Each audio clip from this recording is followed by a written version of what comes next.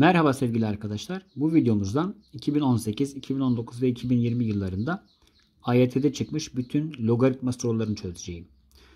Hazırsanız başlayalım. Şimdi bu soru, birinci soruda logaritma 4 tabanda x ve logaritma 8 tabanda 1 bölü x sayılarının aritmetik ortalaması 1 bölü 2'dir. Buna göre logaritma 16 tabanda x ifadesinin eşiti nedir? Şimdi arkadaşlar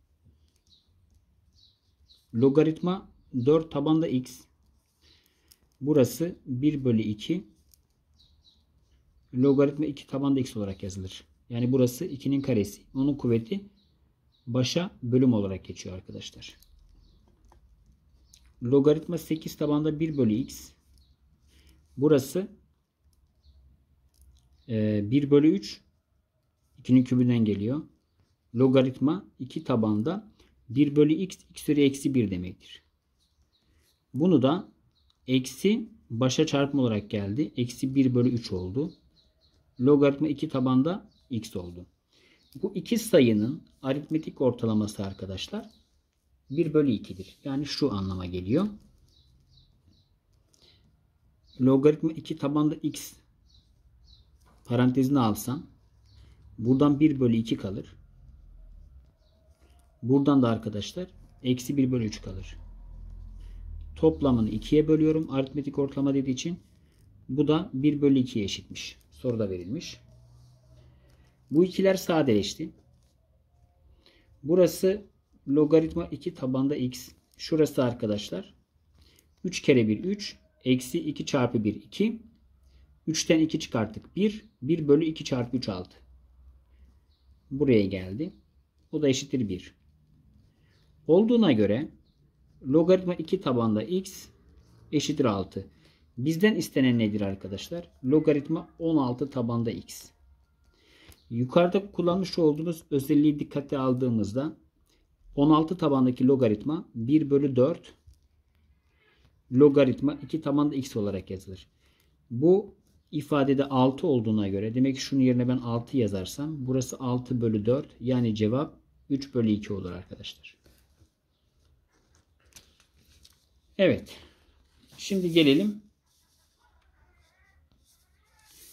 arkadaşlar ikinci sorumuza. İkinci sorumuzda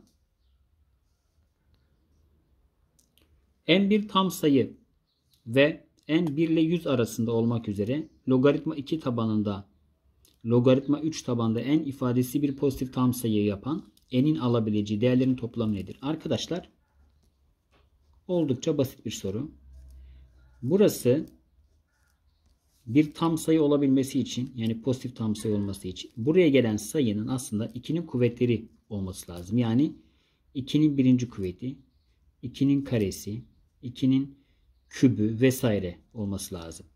O zaman şunu söyleyeceğiz. Madem ki buraya gelen sayı 2'nin kuvvetleri olacak. O zaman logaritma 3 tabanında n eşittir 2 üzeri 1 iken Burada hatırlayın logaritma üstü sayı biçiminde yazdığımızda ne oluyordu? n eşittir 3'ün karesi. Yani 9. Ondan sonra logaritma 3 tabanda n eşittir 2'nin karesi. Yani 4 olduğu zaman da n buradan 3 üzeri 4'ten 81 olur. Soruda arkadaşlar n'in 1 ile 100 arasında olduğunu söylemiş. Dolayısıyla ben e, bu ifadeyi 2'nin kübüne eşitlersem o zaman 100'den daha büyük bir sayı çıkar. Dolayısıyla n'in alacağı iki tane değer vardır. O da 9 artı 81 eşittir 90. Evet arkadaşlar. Şimdi geldik 3. sorumuza.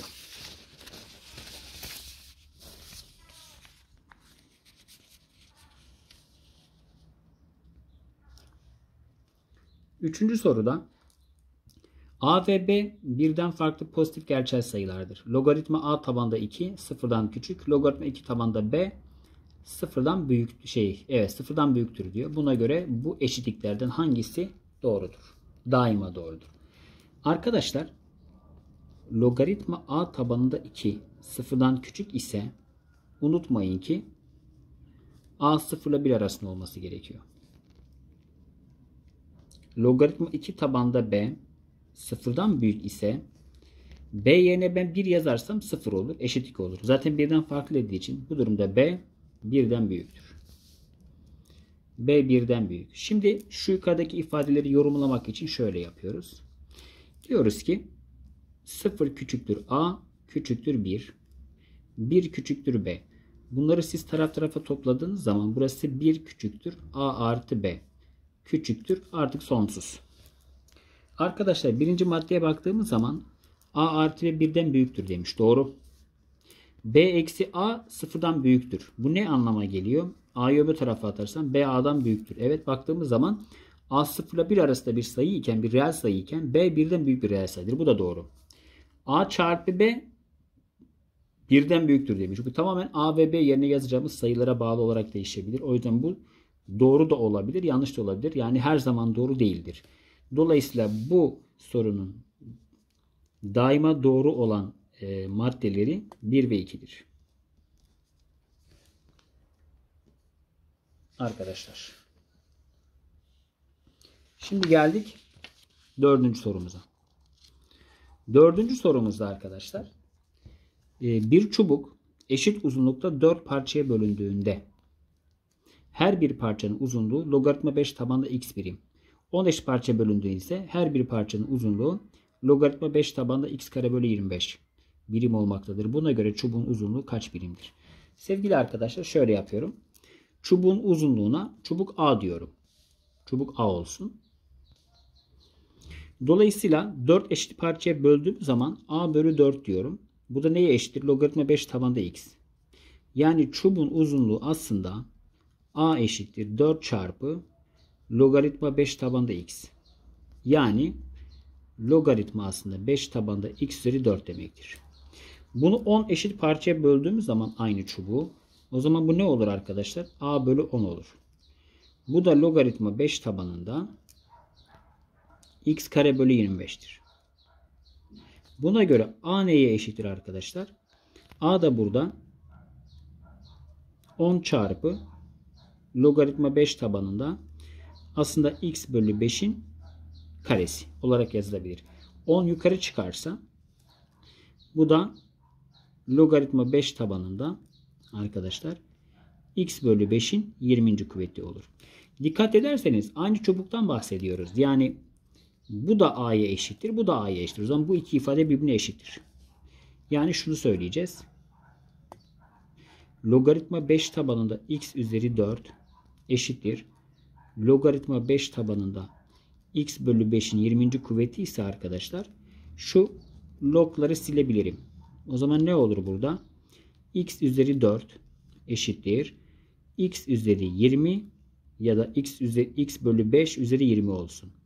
4 ile 20 sadeleşti. 5 kaldı buradan. Sevgili arkadaşlar. x eşittir. x üzeri 5 bölü 5 üzeri 5 olarak yazdık.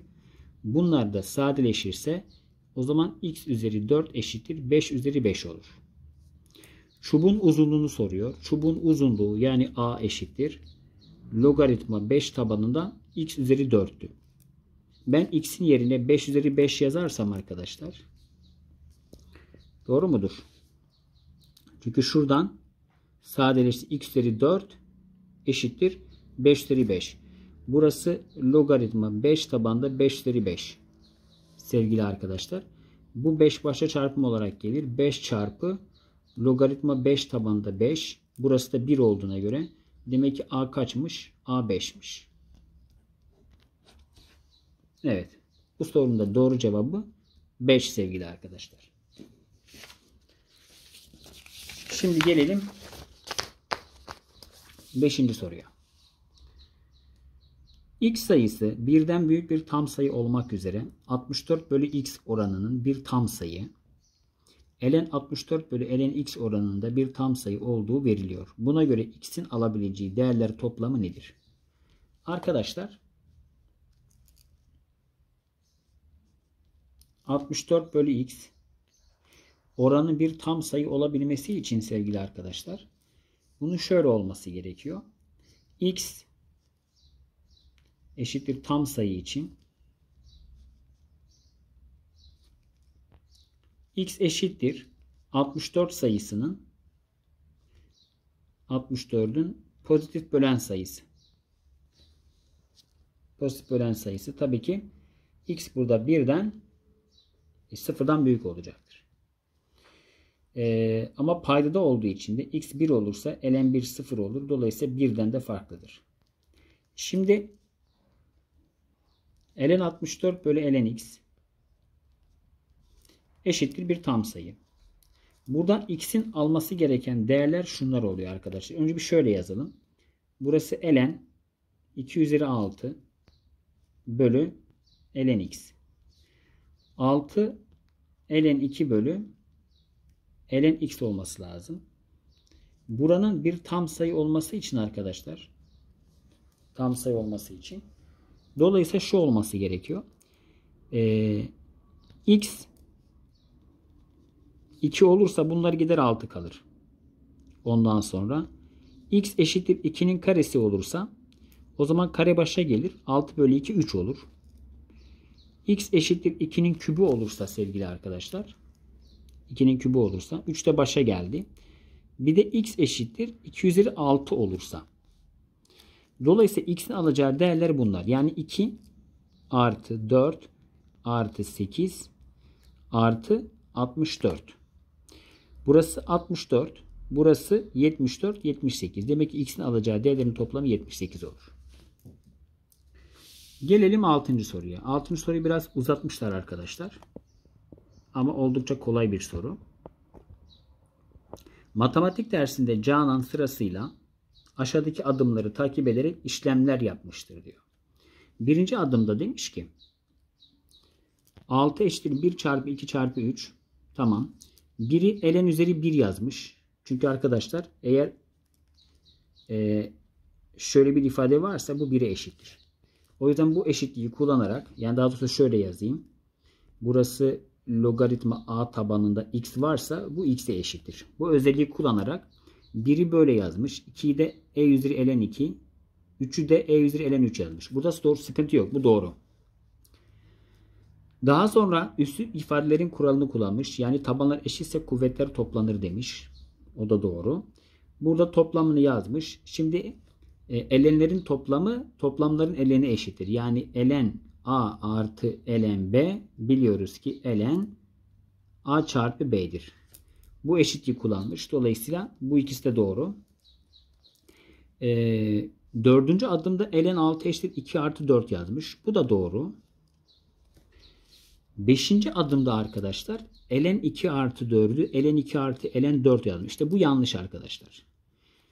Neyi soruyor bana? Bu adımlar sonucunda diyor Canan 6 eşittir 8 bulmuştur diyor bakın. Eğer bunu bunu gözden kaçırırsanız dolayısıyla bu eşitlik sizi 8'e götürmüş oluyor. Yani sanki 6 8'e eşitmiş gibi bir işlem yapmış olursunuz. Burada zaten hangi adımda hata yapmıştır diye sormuş. 5. adımda. Çünkü e, elen 2 çarpı 4. Elen 2 artı elen 4'tür. Ama elen 2 artı 4 elen 2 artı elen 4 değildir arkadaşlar. Buna dikkat edin. Tamamen özellik sorusu. Evet sevgili arkadaşlar. 2018, 2019 ve 2020 yıllarında çıkmış olan sorular bunlar. Beğendiyseniz lütfen beğen butonuna basmayı unutmayın. Size başarılar diliyorum.